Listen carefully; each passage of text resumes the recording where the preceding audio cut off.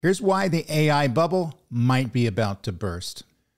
So, first, what the heck is an AI bubble anyway? Well, an AI bubble occurs when artificial intelligence uh, experiences rapid and sustainable growth fueled by excessive investment, overhyped expectations, and limited tangible returns. So, in essence, it's able to mirror past economic bubbles where speculation outpaces real world adoption and measurable success. And I think we're seeing that in the AI space right now, clearly. And I'll back it up with some data uh, later on in this video. As businesses and investors pour resources into AI without achieving consistent results, the industry's inflated value risks a sudden collapse when the hype subsides. And I'd say what we're seeing right now in terms of the data points uh, that I'm seeing in the market and other uh, thought leaders in the space are seeing this as well.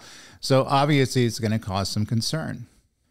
So, the first and most major data point of this is going to be high failure rates in enterprise AI projects. And this is a widely publicized study I think everybody's been talking about, and I talked about it as well.